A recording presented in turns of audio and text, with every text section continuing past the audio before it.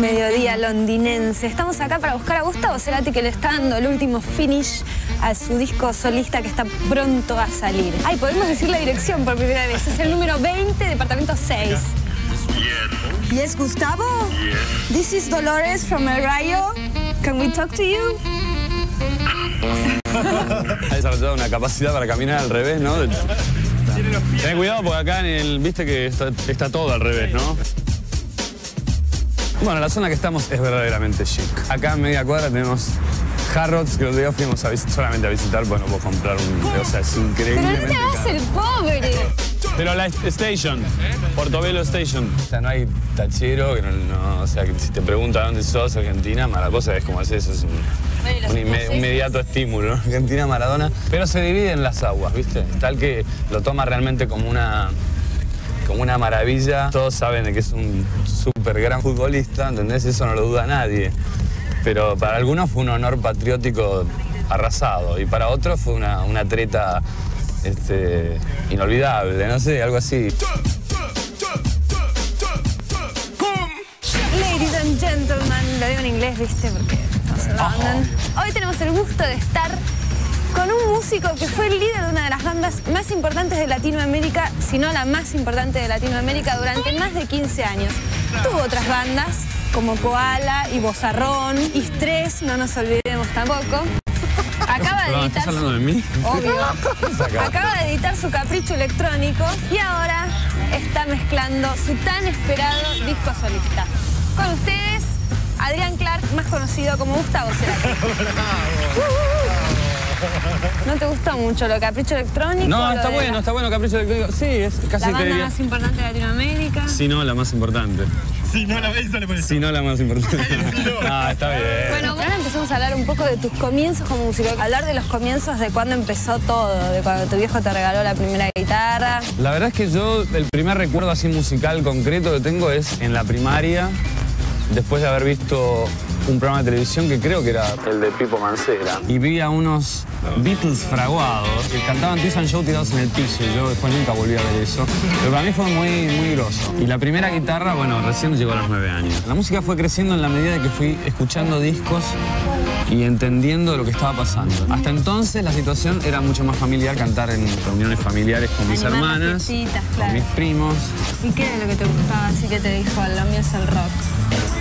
El, el disco Disparador fue un disco de Modar en la noche. ¿Lo tenés todavía? Lo tengo. Y ahí para mí hizo crack todo. O sea, mientras yo me, me- me ubicaba en el combinado, donde es escuchando ese tema, de golpe se me pasaba y aparecía el otro y ahí fue donde descubrí un poco la guitarra, el rock, ¿no? Antes de eso, digamos, bueno, Roberto Carlos.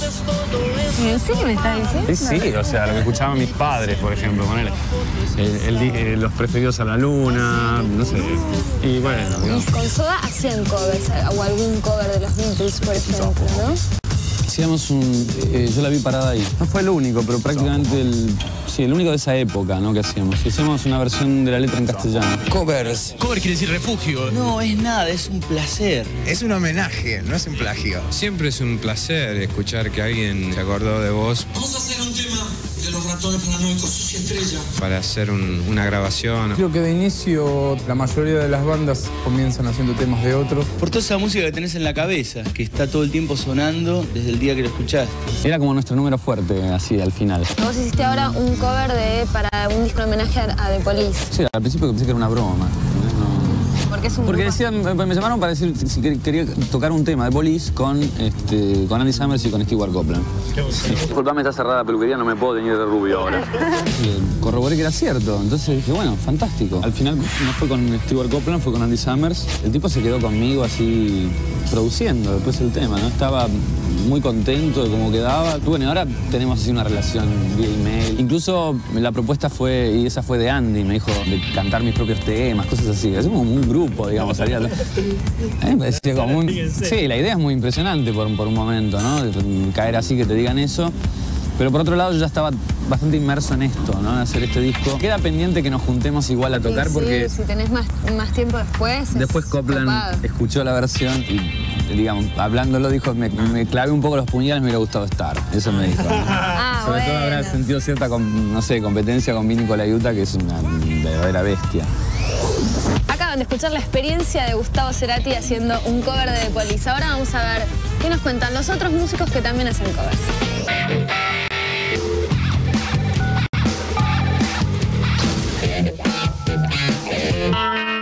La manera de explorar sobre un terreno conocido. Y en algún momento tenés la guitarra colgada y la, y la haces.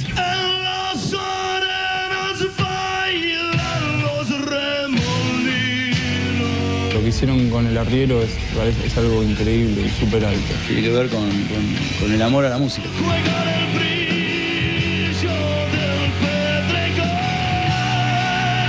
Mí lo que no me gusta es cuando las bandas se refugian en la canción original y no le aportan nada. Si podés superar la versión original es un golazo. Una de las cosas más importantes que me pasaron a mí profesionalmente fue levantarme un día y enterarme que, que Luis había grabado Sucia Estrella.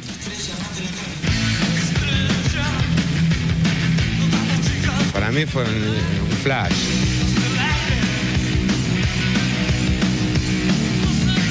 ¿Cuál es el tema más conocido de Sandro? Rosa Rosa. Bueno, a ver si le podemos dar una, una vuelta de tuerca a un tema muy conocido.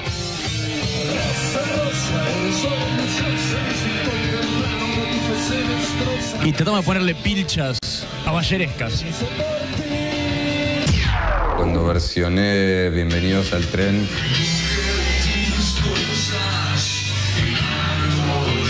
tuve algo de, homenaje, tuve un poco de esa intención. Nunca haría un cover de... Y zapatos rotos, por ejemplo. ¿Qué sé yo? Por empezar, nunca en mi vida voy a versionar algo que tenga alguna relación con el género de la bailanta, que me parece inmundo. Y el tema de Gilda fue así como una especie de fantasía.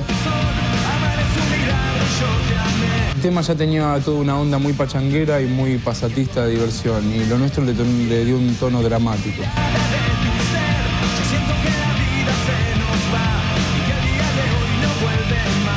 Roxette, por ejemplo, no haría nunca, pero por otros motivos. Eso para mi muerte.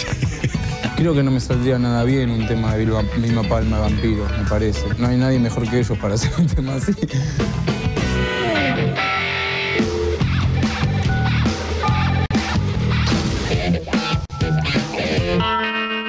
¿Qué es eso de Adrián Clark? ¿Esto, qué- ¿Cómo es? ¿Es tu nombre en- entero? Puede ser que además lo vas a usar para sacar algunos de tus discos. No, no, la cuestión es así. Mi nombre completo es Gustavo Adrián Cerati Clark. No suena argentino. Sí, por ahí no es la más típica. ¿eh? Del, del lado de mi madre así irlandés y del lado de mi viejo italiano. Y la verdad es que cuando, cuando era, tendría 12, 13 años, iba por las calles caminando, haciendo como un propio programa de radio, ¿entendés? Presentando una banda, todo imaginado, ¿no? Que se llamaba ET.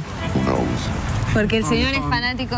Nada, No, fanático. no, no, no, fue mucho antes, ¿eh? De- Bueno, pero ahora seguís siendo medio fanático. ¿Cómo es ese tema del, del espiritismo y las ciencias ocultas y de los extraterrestres? Tuve una época en donde leía algunos libros de ciencias ocultas, gracias a Fabio Serpa, que en realidad... este, Que tiene razón. Yo tuve un, un encuentro con él, era chico, ¿eh? tendría 12, 11, una cosa así. Me contó un encuentro en un colectivo con un señor vestido de negro Eh, que le, que le mostraba una valija con armas. miles de dólares.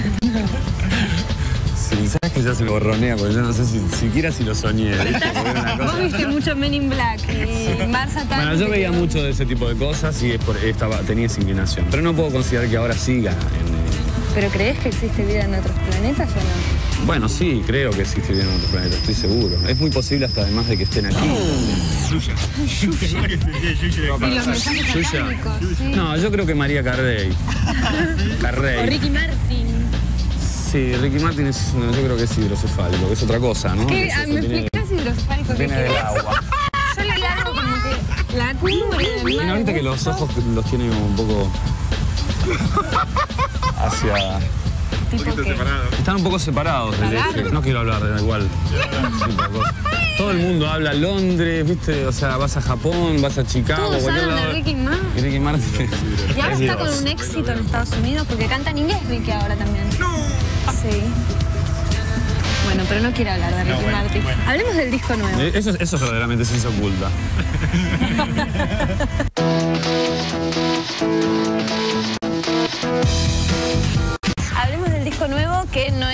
eh, música electrónica. Es difícil explicar, te digo, porque tiene, tiene un un montón de lugares el disco. Yo la sensación que tengo, así general, es como si más que un disco estuviera, no sé, ar- armando una película. Si bien son canciones, esa es la idea del disco, es un disco de canciones, al revés de otras cosas que estaba haciendo electrónicas, en donde por ahí era más un devenir sonoro o Un cosas que se capricho, como extendían. dijo Alfred. Claro, no, no, pues ahí yo no, no el capricho yo creo que ya lo podríamos considerar un género musical. Pero en todo caso, el, el disco hay elementos electrónicos, hay elementos del rock, hay momentos de pop, hay momentos de, no sé, de cosas muy diferentes que Hay se ensamblan. orquesta. Hay una orquesta, una sinfónica. Cuando te digo que en realidad estoy haciendo como una película es porque el disco va a tener un movimiento, ¿no? Así entre, entre una cosa y la otra. A través de sonidos, a través de momentos diferentes sacados de la grabación. Faltan como dos semanas y la edición, el ensamblaje de todo eso va a ser como tan importante casi como la composición. Ahora que estás en Londres, ¿comprás muchos discos? Sé que sos fanático y que gastas fortunas en discos. No creas tanto, ¿eh? Te- te- a vos te exageran mucho cuando te, cuando te dicen, mira, ¿La data? no, o sea, Lo habrás dicho tengo en algún bastante- lado. No, tengo bastantes discos, pero en realidad, bueno, soy amante de la música, la compro discos y, y he, he gastado, en- en- en- es verdad que he gastado cuando he hecho viajes, pero estoy un poco más selectivo, la verdad, y al lado de otras personas que ya me quitaron totalmente el espíritu competitivo. Por más que intentes por la filatelia, que intentes por, no sé, por los, por los caloidoscopios, por lo que quieras, siempre hay alguien que tiene mucho más que vos. sí. No tiene sentido competir. Pero tengo una buena cantidad de discos, sí. Por ejemplo, dentro del lado electrónico, podemos decirle, me parece que los alemanes están haciendo algo muy interesante. Salieron un Qué poco loco de la gente que sabe mucho de música que te dice, no, en Londres ahora no pasa nada con la música. Si en Alemania ahora, viste, electrónicos están haciendo recopado. ¿Sabes qué pasa? Que eh, es verdad. En- en Tenés los mercados ya identificados. No, no por mercado, sino que los ingleses siempre se caracterizaron en tener mucha música de rock, sobre todo, y también tecno, electrónica, diferentes cosas, pero este, están, están un poco vacíos en muchos aspectos. La sensación es como si todo el mundo quiere esperar al surja. 2000, no sé, algo así. Oasis. Oasis está bien, que ellos tienen un súper buen cantante, qué sé yo, hicieron buenos discos. eh, Blur. Blur también, qué sé yo. Supergrass me gusta más, por ejemplo. Bueno, y la sensación que acá no está pasando mucho, es eso. Salvo mi disco.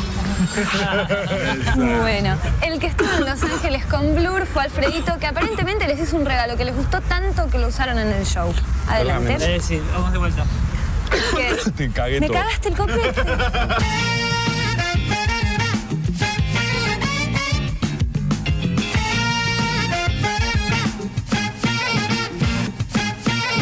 Contame un poco el momento glorioso de ayer que me venías contando antes de que grabaran en Abbey Road con una, una orquesta donde grababan los Beatles. Los Beatles grababan en el estudio de al lado, que es un estudio más chico, más como para grupos, ¿no? Este es un estudio enorme. En algún momento en Buenos Aires existieron estudios así, pero económicamente no funcionaron. Y hoy son, no sé, otros reductos. Lo de ayer para mí fue el cielo. Sonoramente la sensación de, de la interpretación de tus canciones, además del, del- del triunfo a través de un arreglo que fue hecho en casa, ¿entendés? Con, una, proyección, no diría incierta, porque en realidad Alejandro Terán, que es el que hizo los arreglos, este, sabe hacer las cosas bien. Era la primera vez que accedíamos a, tanta cantidad de músicos. Y fue marcar cuatro y los tipos ya estaban tocando la canción perfecto, fue maravilloso. Pero además el sonido del lugar es tan celestial, diría, que yo estuve en, en no sé, creo que no existe una droga que me pueda poner en ese estado, digamos, no, no, no hay. Ayer me tomé esa, ¿viste? La que no tiene nadie. ¿Cómo se va a llamar? Mira, todavía no lo sé. Gracias totales. No, no. No, ya se lo hicieron, mujer, ya lo hicieron. Acaban de sacar un disco, ¿En serio? sí, un, tributo, yo diría un monotributo Ah, Soda Stereo. Se llama que no, les, no te gustó mucho. No, sí, sí, sí, sí, sí, sí, me pareció buenísimo. Todavía no me comuniqué con ellos para agradecerles y este, más allá del título, ¿eh? porque si no seguimos. Sí, no, no, sí. No, pensé que te estaba dando el pie, pues, decirle que era yo. No, no, no. Muchas gracias Un gusto verlos por aquí. por todo. Hacele, festejale, nene, así nos trae otro viaje.